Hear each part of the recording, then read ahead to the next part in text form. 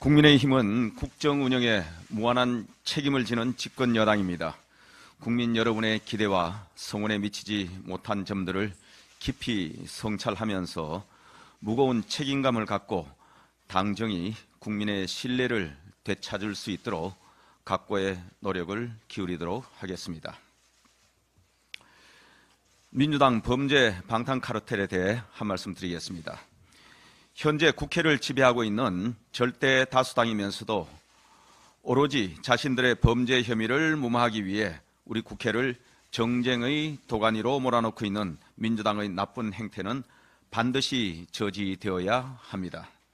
최근 민주당의 행태를 보면은 이재명 대표 1인 방탄 정당을 넘어 당 전체가 거대한 범죄 방탄 카르텔로 전락하고 있습니다. 서로가 서로의 비리를 덮어주고 감싸주면서 강고한 악성 카르텔을 만들어가고 있습니다. 2021년 민주당 전당대회 돈봉투 사건은 당의 전직 대표, 사무총장, 그리고 다수의 의원들이 연루된 중대 범죄 사건입니다. 국민 앞에 섭고 대제하는 것이 마땅합니다. 그런데도 이 사건과 연루되어 열 달째 검찰의 소환에 불응하고 있던 민주당 국회의원은 버젓이 동행명령장을 들고 대통령실 앞에서 정치쇼를 벌였습니다. 법치를 우롱하는 처사입니다. 또한 지난주에는 검찰이 민주당 신모 의원에게 태양광 사업 뇌물수수 혐의와 총선 경선 여론조사 조작 혐의로 구속영장을 청구했습니다.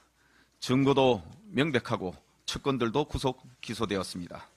그런데 신 의원은 이 사건을 표적 수사라고 생떼를 쓰고 한술 더 떠 이재명 대표는 정치 탄압 가능성을 검토하라고 지시했습니다. 역시 초록은 동색이고 가재는 개편입니다.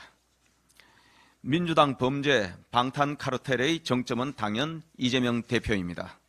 지난 주말 민주당 장애 집회 근처 곳곳에서 이재, 이재명 대표 무죄 탄원서를 모으고 이 대표 본인이 탄원서 작성 부수를 직접 방문했다는 것은 장애 집회를 개최한 진짜 의도가 본인의 범죄 방탄에 있다는 것을 명백하게 보여주는 것입니다. 본인들의 비리를 덮기 위해 국회에서는 중앙지검장 탄핵을 추진하고 거리에 나가서는 대통령 탄핵과 하야를 부르짖으며 헌정 질서를 위협하는 민주당의 범죄 방탄 카르텔은 반드시 심판받아야 합니다. 죄는 지은 대로 가고 덕은 쌓는 대로 받는 것입니다. 이것은 세상의 불변의 이치입니다.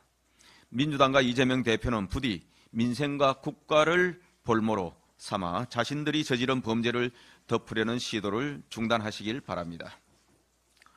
오늘 2025년 예산안 시정 연설을 시작으로 본격적으로 내년도 예산안 심사가 시작됩니다. 윤석열 정부의 25년도 예산안은 국민이 바라는 민생 과제를 집중 지원하고 미래 도약을 위한 우리 경제의 경쟁력 제고와 사회 구조 개혁에 중점을 뒀습니다. 국민 개개인의 여건을 고려하지 않은 일률적인 현금 살포가 아닌 필요한 분야에 실효성 높은 방식으로 지원하는 책임 있는 민생 해결 예산, 미래를 키워나가는 사업에 집중 투자하는 미래 도약 예산입니다. 국민의힘 의원 108명은 국민 세금으로 편성되는 예산이 허투루 쓰이지 않고 필요한 곳에 성과를 낼 수 있도록 꼼꼼히 살피겠습니다. 그간 17개 광역자치단체와 민생 예산 정책 협의회에서 논의한 내용들도 집권 여당의 책임감으로 꼼꼼히 챙기겠습니다. 대내외적으로 경제 안보 상황이 매우 엄중한 시기인 만큼 그 어느 때보다 여야가 국회에서 머리를 맞대야 하는 11월입니다. 하지만 민주당은 이재명 대표 방탄을 위해 11월을 특검의 달로 명명했습니다. 오만한 착각입니다. 국민이 명한 11월은 민생을 위한 예산 국회의 달입니다.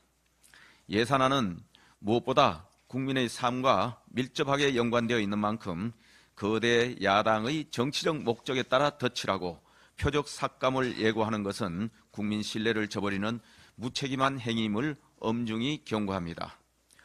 헌법에서 규정한 법정 처리 시한인 12월 2일까지 국가 예산안이 처리될 수 있도록 야당의 적극적인 협조를 당부합니다. 이상입니다.